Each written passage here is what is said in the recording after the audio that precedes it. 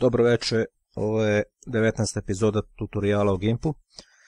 Evo me posle dužeg vremena, kao što vidite ima nekih malih novina ovdje. Od sada su video tutoriali u Full HD-u, pošto sam kupio novi monitor koji je podržao Full HD rezoluciju. U prvom delu današnjeg tutoriala ću pričati o High Pass Sharpening filteru.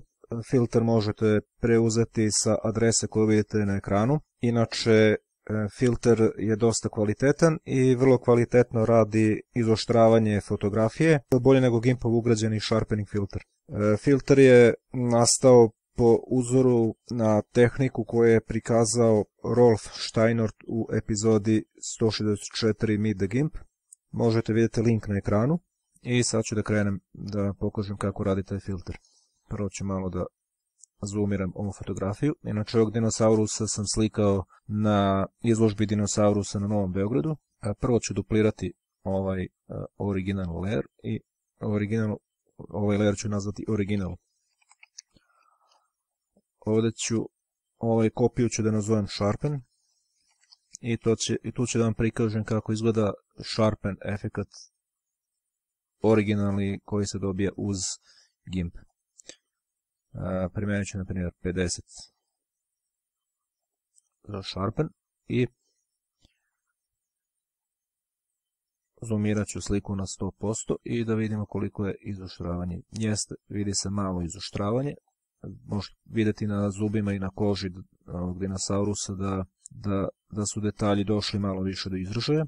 Sada ću da primjenim filter High Pass Sharpening, ali pre toga moram da isključim ovaj sharpen layer, zato što high pass sharpening filter tako radi, to jest mora da bude vidljiv samo onaj layer na kome primenjate taj filter. Sada ću na ovom layeru da primenim filter high pass sharpening, nalazi se u filters Skynet Enhance high pass sharpening. Ostavit ću ovaj radius 30 i da vidimo kako će da izgleda fotografija posle primjene ovog filtera. Nažalost, kod ovog filtera ne postoji preview kao kod ugrađenog impovog sharpening filtera, tako da ako niste zadovoljni rezultatom, odradite ponovo sa nekom drugom vrednošću. E, da vidimo šta smo dobili. Da uporedimo, dakle, ovo je sada fotografija sa high pass sharpening filterom i tu je dakle high pass sharpening 30 nazvao sam ovako ovaj layer zato što sam primijenio parametar 30 sad ću da isključim ovaj layer i da vidimo razliku, da razlika je očigledna. Dosta izoštren, da vidimo samo kakva je razlika u odnosu na Gimpov ugrađeni sharpen efekt da vidi se da je znatno oštrije, detalji su više došli do izražaja, ali čini mi se da parametar 30 malo pretran, to se vidi ovdje kod ovih zuba. Dakle, kod ovog gornjeg dela se ne primati toliko, ali se kod zuba vidi ovaj taman ovdje deo, koji se ne, ne primećuje kod sharpen efekta. I zato ću sada ponovo da odradim pass sharpen, ali sa, ali sa manjom vrednošću, na primjer stavit ću vrednost 10.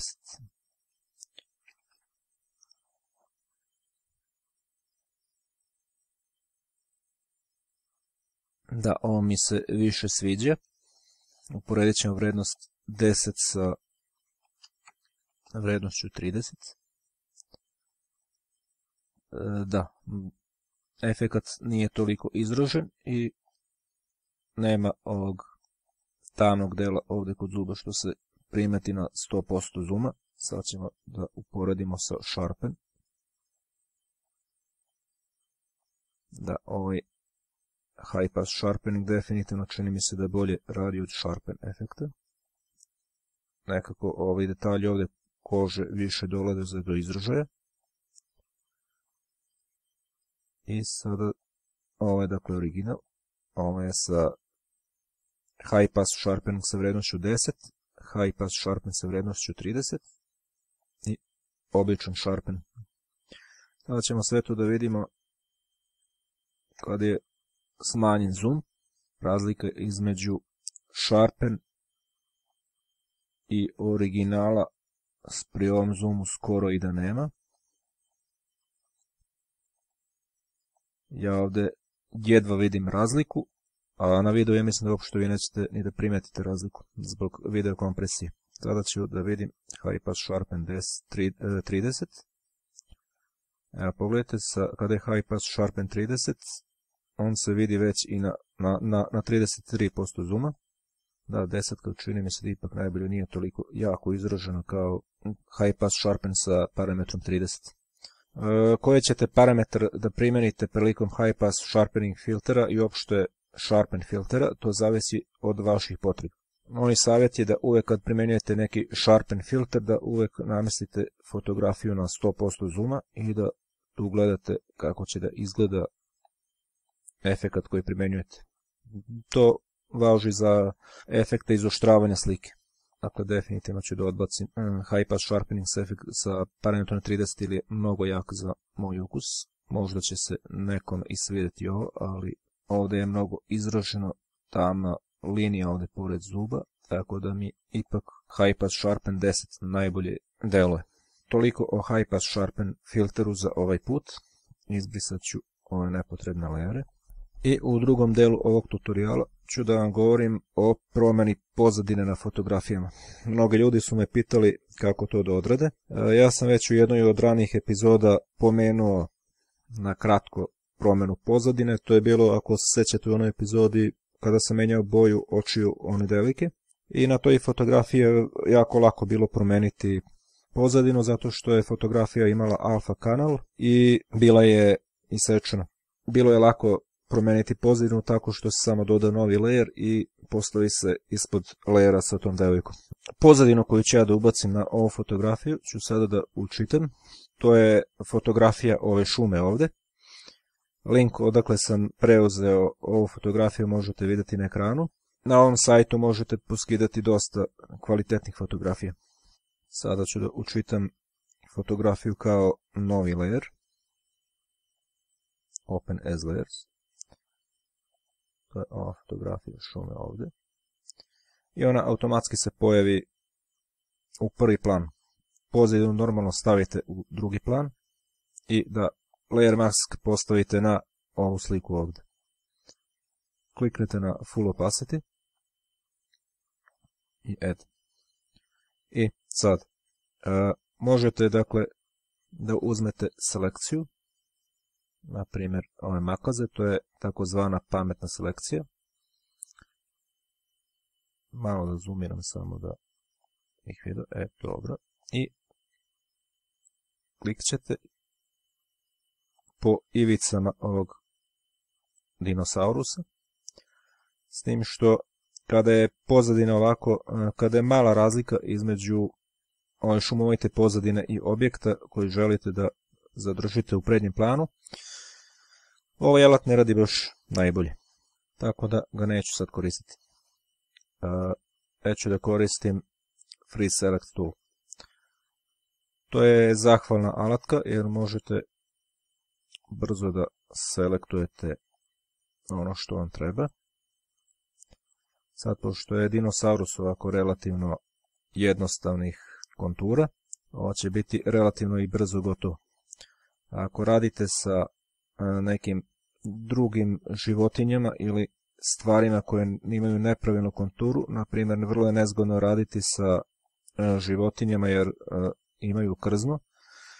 Onda je možda bolja varijanta da sve odradite sa četkicom. Ja ću sada grubo samo da selektujem konture ovog dinosaurusa, pa ću onda fina podešavanja da odradim sa četkicom da biste vidjeli i jednu i drugu tehniku. Ja sada malo grubo pratim ove konture ovdje, ali kada bih radio neki konkretan projekat, onda bi i pažljivije ove konture pratio. Sad samo da bi što pre završio ovaj tutorial, ja ovdje radim prilično brzo. E, da ne bi sad gledali kako ja klikćem po, po obodu ovog dinosaurusa, e, ja ću sada malo da pauziram video, pa ću se vratiti kad ovo bude gotovo. Dakle, evo pri kraju sam selektovanja kontura ovog dinosaurusa. I selekciju ću završiti tako što se vratim na početnu tačku koju sam selektuo. I evo, dinosaurus je selektovan. E, sada ću da dodam layer mask. White full opacity. I kliknuti na layer mask. Da bi ovo odradio layer mask mora da bude aktivan ako se sećate iz prethodnih epizoda. I kliknuti ovdje na select i invert selection. I ovu crnu boju ću da prevučem ovdje. I kao što vidite dobio sam i kao što vidite odmah se promenila pozadina. E, također, ono, ako radite sa uh, free select alatom ili sa nekim od ovih alata za selekciju, uh, korisno je ublažiti ivicu, jer kao što vidite ivica je ovdje oštra. To možete uraditi i prilikom same selekcije tako što uh, kliknete na Feather Edges, međutim ja ću to da uradim na drugi način jer imam veću kontrolu. Sad ću vam pokazati kako. Znači Select None da bih sklonio selekciju. Kao što vidite, selekcija je dosta gruba. I ja ću da primenim e, efekat na e, layer masku, ali pre toga samo da vam pokažem jednu stvar. Ako pogrešite negde prilikom selekcije, to možete lako popraviti. Obratite pažnju samo da je e, layer mask aktivan, to se vidi po ovom belom borderu ovdje oko layer maska i kliknite na četkicu vidite kako mogu da popravim ovaj deo koji želim da popravim. Ovo je samo primjer, pošto sam sad pokvario. Kliknut ću undo. I ovo mi je primjer također da, da crna boja otkriva pozadinu, a bela boja pokriva pozadinu, kao što vidite ovako to izgleda praktično na taj način možete popraviti eventualne sitne nedostatke, kao recimo ovaj ovdje da poravnamo ovaj deo. Nije toliko ni bitno. I sljedeća stvar koju ću da uradim je da primenim i da primenim filter Gaussian Blur na, e, na ovaj layer mask da bih ublažio ivicu. Neka bude za početak 5, da vidim kako će to da izgleda. I evo vidite ivica dinosaurusa je ublažena. Pri 33% zuma izgleda kao da je fotografija baš fotografisana na ovaj način. E, s tim što mm, pozadina je pretarano oštra. Ja ću da, da zamutim malo pozadinu. Dakle, kliknut ću na ovu pozadinsku sliku, na ovaj pozadinski layer ovdje i primenit ću opet filter Blur, Gaussian Blur. Aj, probat ću recimo sa 10 da bude malo više. Da ima na što će da liči. I sada je pozadina još malo zamućena i dinosaurus je izvršu u prvi plan. Promjena pozadina se radi na ovaj način. Postoji još neke varijante po kojima možete da radite, međutim najbolje da menjate pozadinu kao što sam pokazao sada, preko layer maska, jer tu lako možete popraviti neke greške ako ste napravili prilikom selektovanja objekta koji želite da ostavite u prvom planu. To bi bilo sve za danas. E, hvala vam na pažnji i doveđenjem.